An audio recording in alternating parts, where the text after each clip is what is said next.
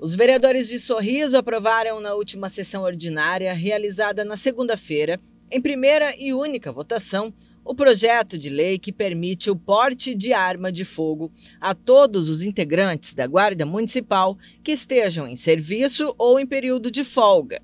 Segundo o coordenador da Guarda de Sorriso, Márcio Pires, os 18 guardas que compõem a equipe deverão passar por treinamento e teste de regulamentação com aprovação da Polícia Federal. Esta lei nos autoriza a passar por curso de formação em relação à utilização de armas é, letais também, tá? Esse curso, lembrando, tem que ser aprovado pela Polícia Federal, feito por, realizado por guarda já devidamente armada e autorizada.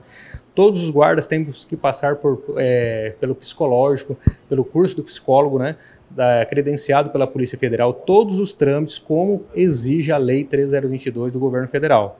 Tá? É uma lei que é um projeto que já vem sendo construído há anos para é, junto com o nosso secretário José Carlos Moura, fomos em algumas outras cidades, conheceu onde já deu certo. Tivemos também o apoio do nosso prefeito, Ari Lafim, e também do nosso secretário, secretário Estevam e, e de toda a Câmara que entendeu a necessidade.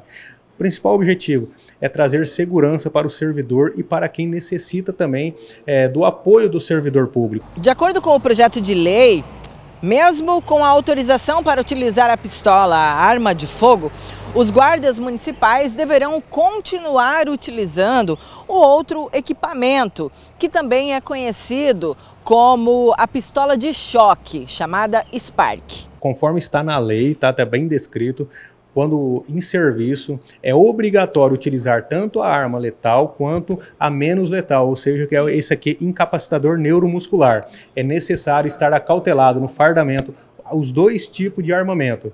Lembrando que é, é uma lei que vem aí valorizar o profissional da agente de segurança. Todas as guardas municipais hoje atendem todos os tipos de ocorrência. Então é necessário que estejam protegidos para poder proteger também.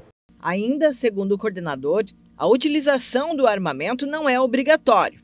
O servidor que preferir continuar utilizando apenas a pistola Spark poderá seguir com o seu uso normalmente. A expectativa é de que no mês de março iniciem os cursos preparatórios e de capacitação para os agentes de segurança municipal.